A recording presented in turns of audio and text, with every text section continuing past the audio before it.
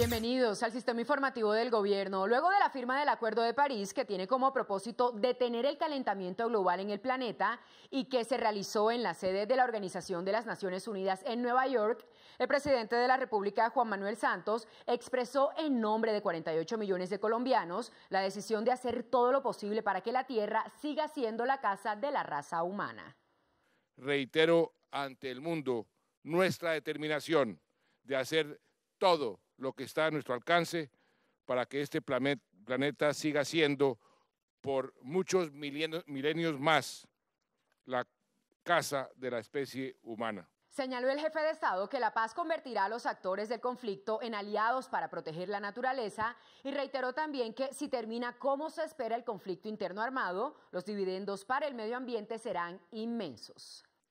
La paz convertirá a los actores del conflicto en aliados que en lugar de proteger los cultivos ilícitos y estimular la deforestación, nos ayudarán a sustituirlos por cultivos legales y sostenibles y a restaurar y cuidar nuestros bosques que han sufrido los efectos de la guerra y el narcotráfico. Y no habrá más derrame de petróleo en nuestros ríos y en nuestros mares. Las acciones adoptadas en Colombia para enfrentar el calentamiento global fueron explicadas por el mandatario ante representantes de 170 países que firmaron el acuerdo histórico. En Colombia, para ese objetivo conformamos recientemente el Sistema Nacional de Cambio Climático para actuar de forma articulada y eficaz en el ámbito nacional y regional.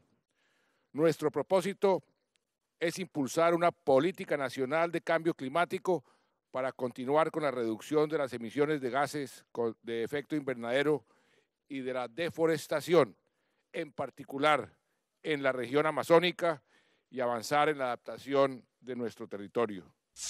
El mandatario sostuvo encuentros con el primer ministro de Canadá y el secretario general de Naciones Unidas, Ban Ki-moon.